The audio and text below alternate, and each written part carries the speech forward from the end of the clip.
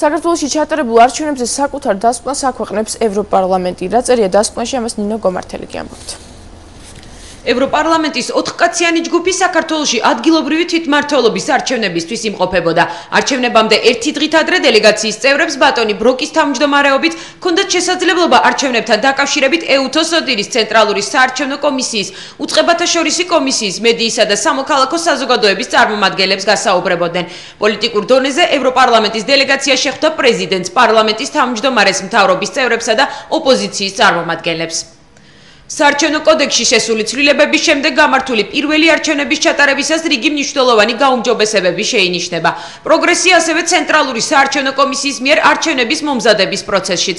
ასევე ხაზგასასმელია ამ კუთხით უწყებათა შორისი კომისიის მუშაობა. მედიის ხელმისაწვდომობა ყველა კანდიდატისთვის იყო უზრუნველყოფილი. არჩევნების დღეს დელეგაცია იყო 25 უბანზე თბილისსა და სხვადასხვა რეგიონებში პოლიციისა და სამხედროებისთვის მომზადებულ სპეციალურ უბნებზე. დელეგაციამ აღნიშნა რომ პროცესი კარგად იყო ორგანიზებული და არჩევნები მიმდინარეობდა დაძაბულობის გარეშე. წყნარ მშვიდობიან და კანონიერ გარემოში. დელეგაცია მიესალმება სხვადასხვა პარტიებისა და სამოქალაქო საზოგადოების დამკვირვებლების დასწრებას ყველა საარჩევნო უბანზე რომელიც მათ მოინახულეს და ეთნიკური უმცირესობების ენების გამოყენებას შესაბამის უბნებში მიგვაჩნია რომ გარკვეული გაუმჯობესებები ჯერ კიდევ განსახილველია. საარჩევნო კოდექსში ჯერ კიდევ არის რამდენიმე შეუსაბამობა და არა თანმიმდევრულობა. განსაკუთრებით რთულია ადგილობრივი არჩევნებისთვის პარტიის რეგისტრაციისთვის მითითებული ოდენობით მხარდამჭერების შეგროვება.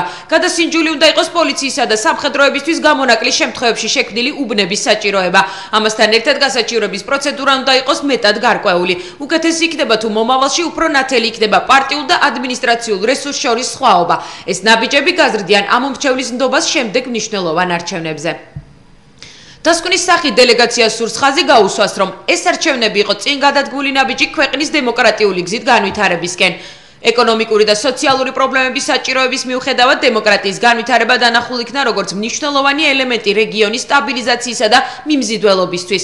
მიმდინარე პროცესები საკონსტიტუციო რეფორმების მხრივ მათ შორის საარჩევნო რეფორმის უნდა მიჩნეულ იყოს როგორც საქართველოს ხელისუფლების მნიშვნელოვანი პრიორიტეტი. მომდენო თვეებში ევროპარლამენტი მჭიდროდ გააგრძელებს ქვეყნის და რეგიონის განვითარებისთვის თვალყურის დევნებას და საქართველოსთან ურთიერთობების უფრო მეტად გაღრმავების ერთგული დარჩება.